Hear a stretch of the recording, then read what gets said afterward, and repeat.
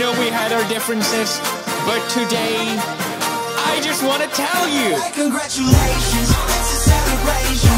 Party all day, I know you've been waiting. Congratulations, it's a celebration. I just wanna tell you that I think that you're amazing. Hey, congratulations to your corporation. Guess you really sweeties, boy, you need a billion Asians. Yeah, you did it very nice, and all it took was a massive corporate entity with every song in Bollywood. Now you're at number one. Hope you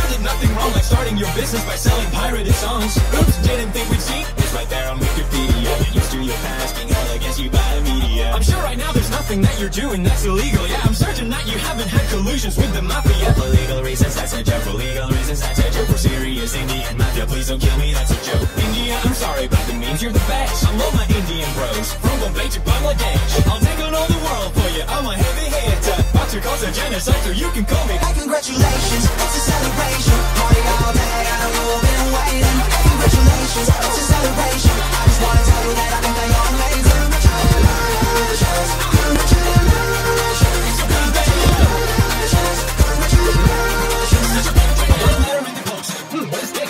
T-Series, same C, same a problem telling them to hold their but let me educate you,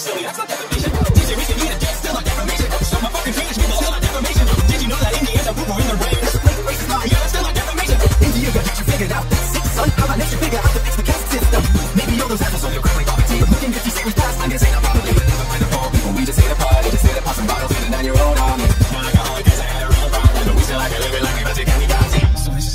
sticking with my channel ever since I was a nobody screaming in barrels.